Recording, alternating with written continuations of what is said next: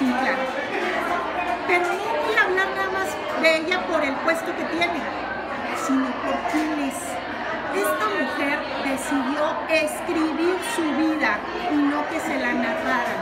Ella un día dijo, yo me siento muy bien en Ciudad del Carmen, mi vida está resuelta. Sin embargo, dijo, pero esto no es suficiente.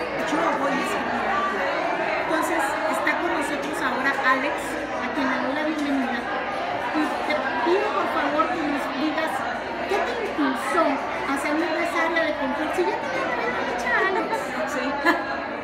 Muchísimas gracias, Clara, muchísimas gracias, speakers. Eh, yo creo que lo que más te puede impulsar a salirte de tu zona de confort es darte cuenta que lo que estás viviendo no es lo que quieres, que no te llena, que no te satisface, que hay algo dentro de ti que te dice que podrías vivir algo diferente.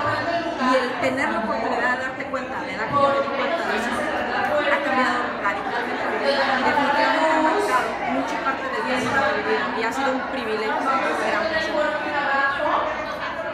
Como pueden ver mis queridas speakers ya nos están corriendo, pero Ale nos va a dar un minuto más. Estoy segura, Ale, que te juzgaron, que te dijeron, pero ¿cómo?